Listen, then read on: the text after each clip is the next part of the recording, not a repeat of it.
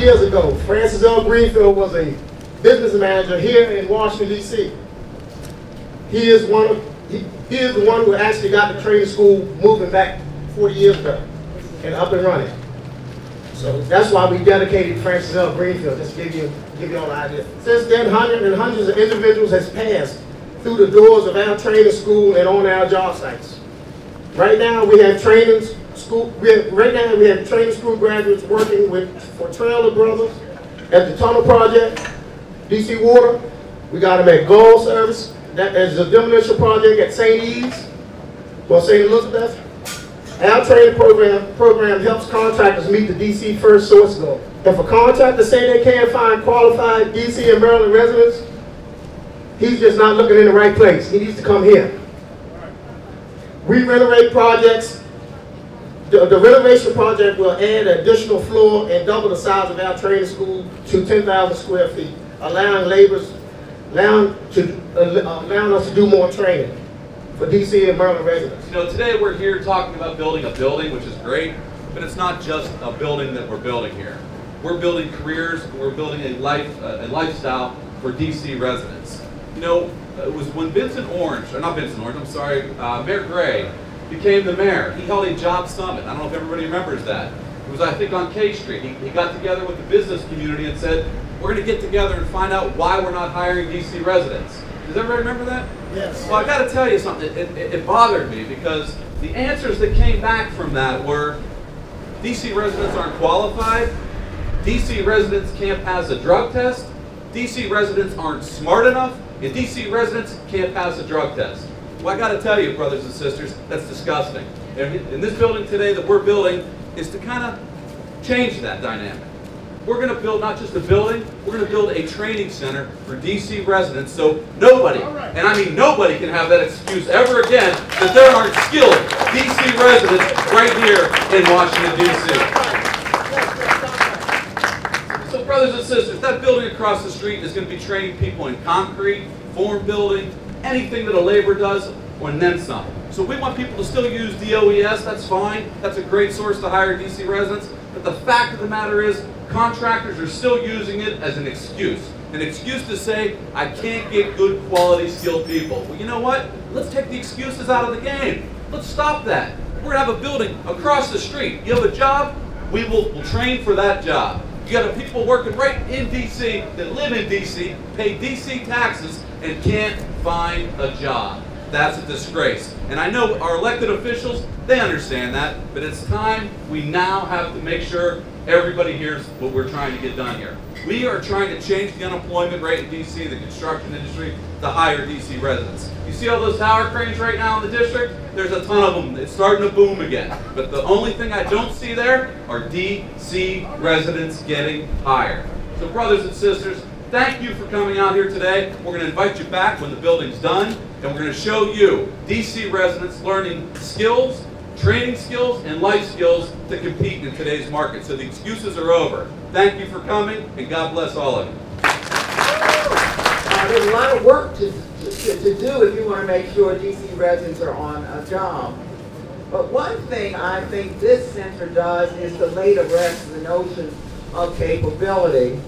And I couldn't be, uh, I couldn't be uh, more pleased uh, that there is a place for district residents to go where people know how to do what's been done on the job because they've been on the job.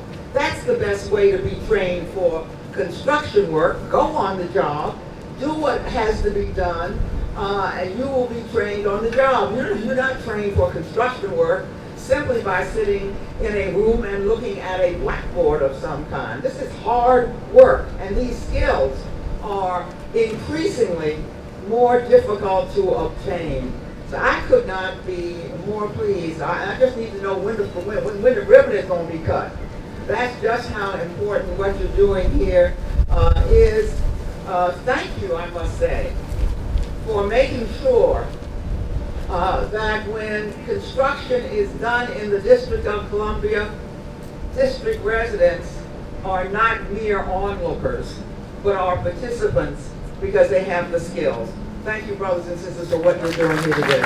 Now, we know we have been DC residents working, and we know we have a lot going on. We have a lot going on in the downtown and southwest, but we have a lot going here on right here in our neighborhoods.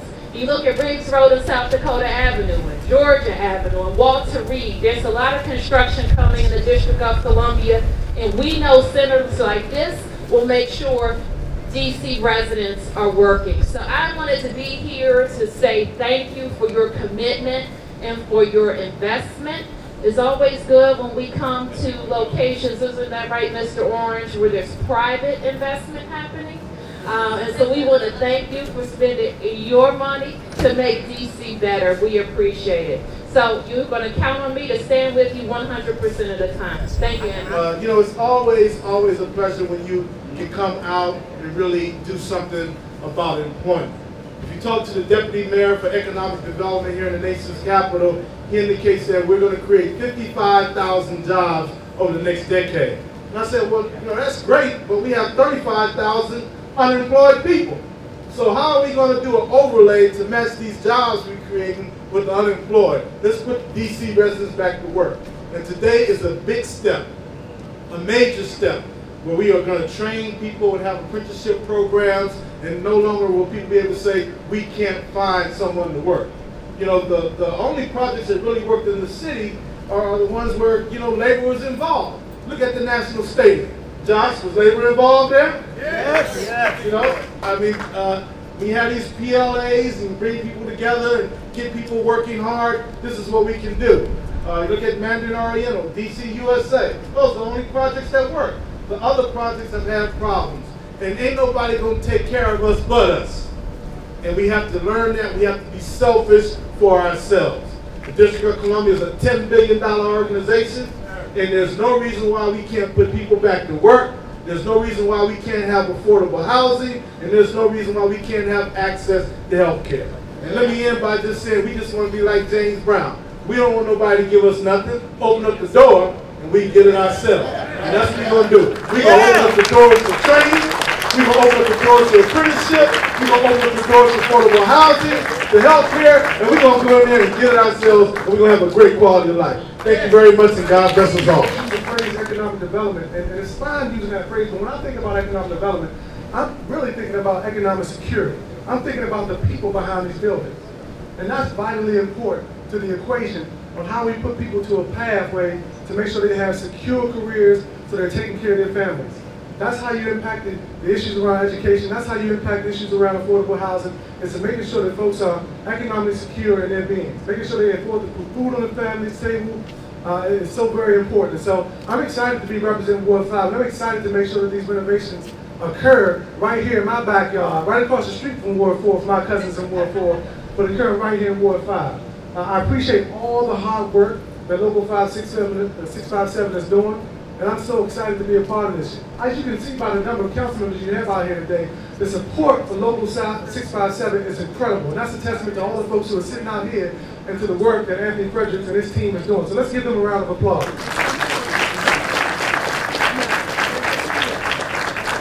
Again, I want to thank you all for all the work that's been going on thus far. I'm, I'm happy to be a part of it, and I look forward to being continuously a partner in all the work that's occurring right here on this site and all the work that's occurring on these construction sites around the city. So thank you all so much.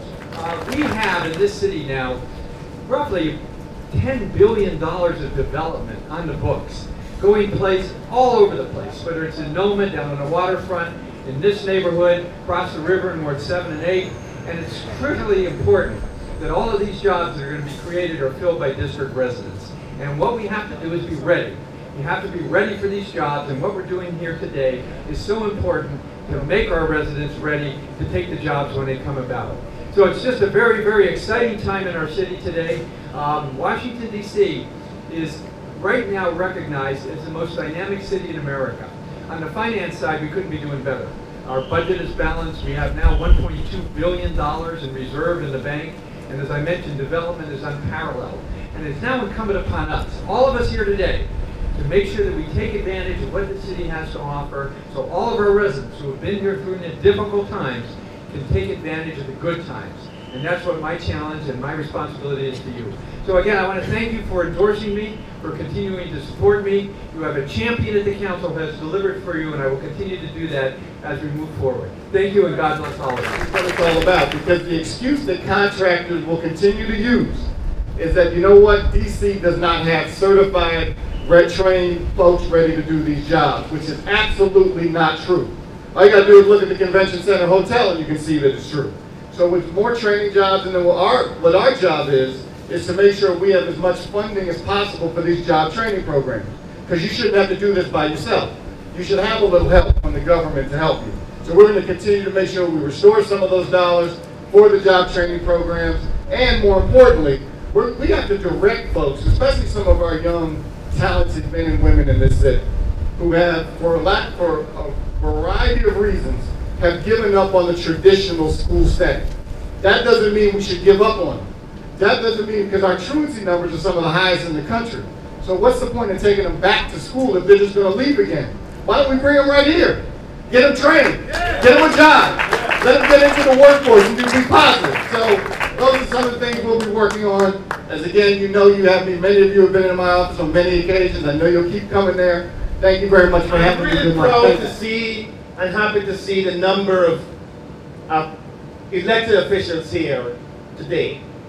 And I really want to thank you and congratulate you for not having amnesia. And in fact, remembering those who were with you when you needed them. Because in today's environment, people somehow are either, their memories are very short, extremely, extremely short. And I was really, I took note, and I want everybody to take note. And the council member from Ward 4 pledged here, and the 15th day of October, that you could count on her 100%. Not 99.9, not 90, but 100%. So let's give her a hand for that commitment.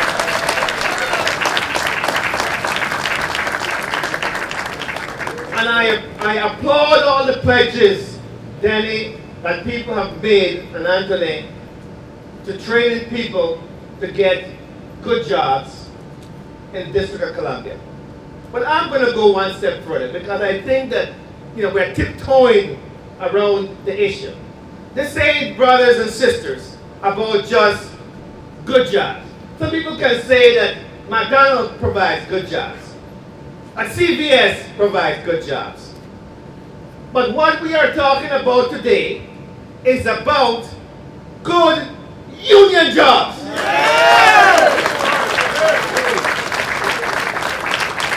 And I have not heard the, the big U mentioned. So I am mentioning today. This is about a fight for union jobs because union jobs is what makes life productive in this nation's capital. So I just don't want politicians to say that we want to get good jobs. Okay? Miller might, Miller and Long might say they do good jobs. But they are anti-union. And what this fight is about is that every one of those cranes and every one of these buildings in this city ought to be built the way National Stadium was, the convention stadium, convention center was, and they were built union, union, union. Washington, Washington works best when politicians say union, yes. Let me hear it. Union, yes. Union, yes. See, I wasn't difficult. You didn't choke at that word.